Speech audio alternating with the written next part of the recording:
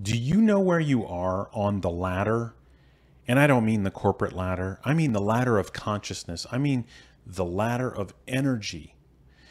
Now, maybe you've heard of this before, maybe you haven't, but we all are at a certain level in our consciousness. Maybe it's something like being feeling that you you are in guilt or shame or worry or doubt or maybe you're optimistic right now or maybe you are feeling enthusiastic right now now first thing you need to do is understand where you are on this ladder are you on the upward spiral or are you on the downward spiral and once you start there then you can take definite action to move up what does that look like to take definite action? It could be laughing, it could be singing, it could be dancing. It could be purposeful action toward that goal, that thing that you love.